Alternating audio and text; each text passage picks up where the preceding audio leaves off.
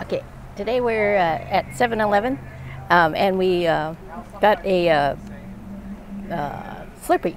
And this is a new uh, flavor, blood orange, uh, brisk. So it's already started, starting to separate. Only had like a couple minutes. okay.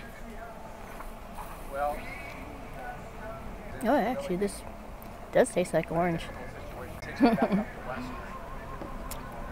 yes, this is a nice uh, orange flavor. And blood oranges kind of just taste like regular oranges. They're just uh, red on the inside.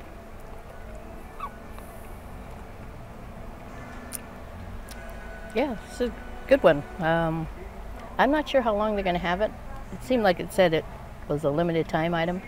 So uh, if you want one, go to one of your 7-Elevens and look for the uh, blood orange uh, uh, Slurpee in the back. And I think Slurpees are the same thing as ices, right? Basically. So make sure you don't get a, a brain freeze. So let's see, I'm going to rate it for a, a iced drink. Uh, I think I'll rate it an A. It's a good flavor and uh, nice on a hot day, which it is today. So uh, please remember to like, comment, subscribe, and click on the notification bell and click on all so you get notified every time I upload a new video.